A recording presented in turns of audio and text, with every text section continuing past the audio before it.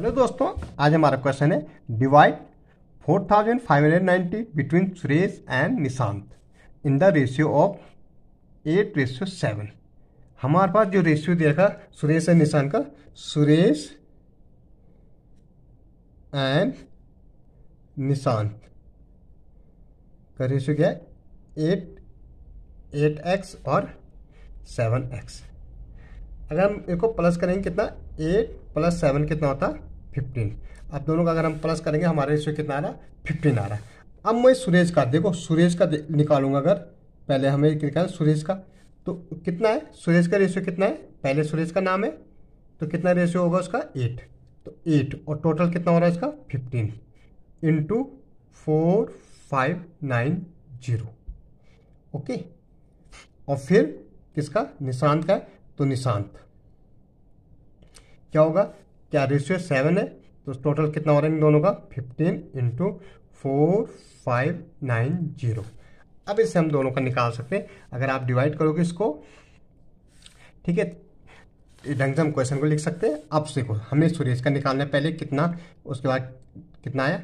Eight upon fifteen into four five nine zero five से cut रहा क्योंकि यहाँ पे तो फाइव थ्री जब फिफ्टीन फाइव नाइन जब फोर्टी फाइव फाइव वन जब फाइव, फोर वन बजा फाइव एट जब फोर्टी।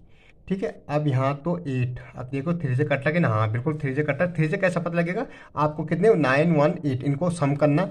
सम देखो nine ten eighteen eighteen eighteen आ रहा है इन दोनों का सम एटीन थ्री से डिवाइड होता है। होता है तो इसमें ये पूरा पूरा नंबर क्या है? थ्री से डिवाइड होगा। जैसे थ्री थ्री जा नाइन और थ्री और यहाँ पे ज़ीरो आएगा। थ्री सिक्स जा एटीन कितना आ रहा?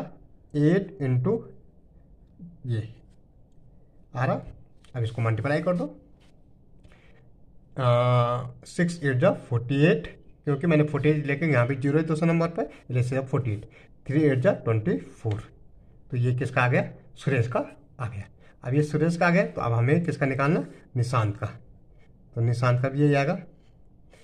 Seven upon fifteen into four five nine zero भाई फिफ्टीन से यहाँ काटा तो पूरा पूरा कट रहा तो कितना है? थ्री हंड्रेड सिक्स आ रहा है। ये तो करने की ज़रूरत नहीं दोबारा। Seven into seven zero three hundred six okay six seven जा कितना होता है? फोर्टी टू मैंने फोर्टी टू लिखा क्योंकि ज़ीरो है।